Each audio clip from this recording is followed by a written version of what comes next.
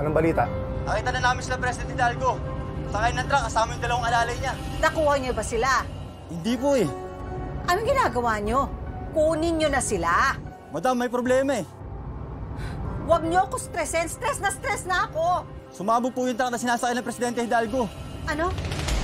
Ano sumabog? Sumalpo po yung truck nila sa isa pang truck ng LPG. Nakita niyo ba na patay silang lahat? Hindi po, madam eh. Huwag kang tatawag dito hanggat hindi niyo nakikita ang bangkay nilang lahat. Paano kung patay ka na nga talaga, Oscar?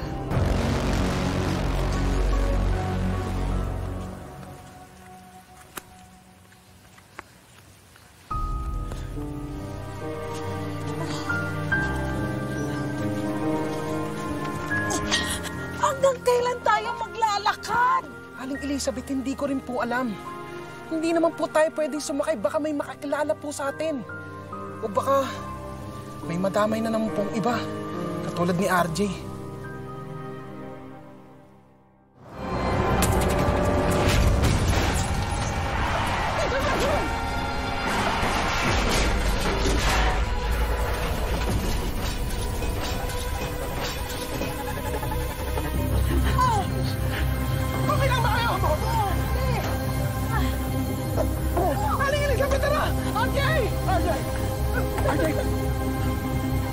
RJ! RJ!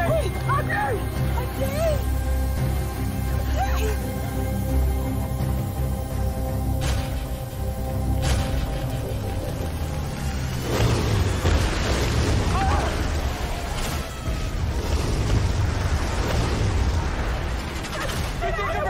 Hindi ko pwede iwanan yan!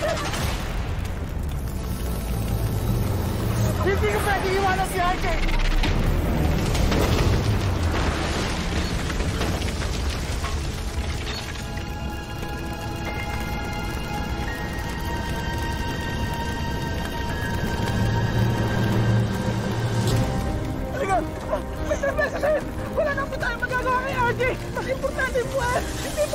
Mahuli!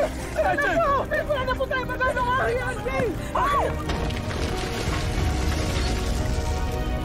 Sisisi pa rin ako sa nangyari kay RG. Punong-puno siya ng pag-asa na maaayos ko ang lahat bilang presidente.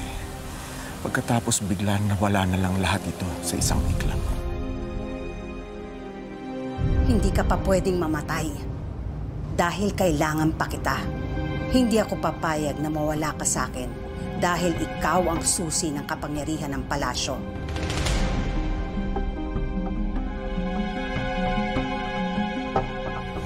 Hindi naman po ninyong kasalanan ng nangyari eh.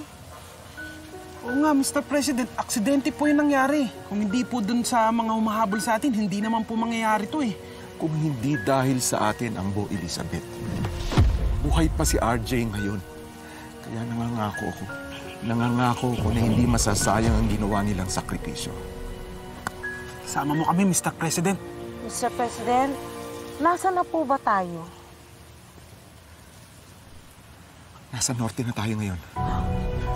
Norte!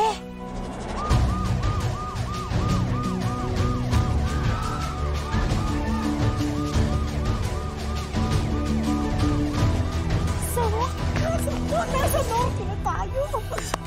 Malapit-lapit na ang bayan. Pero malayo pa rin tayo sa lugar kung saan ako lumaki. Tara po. Halika lang.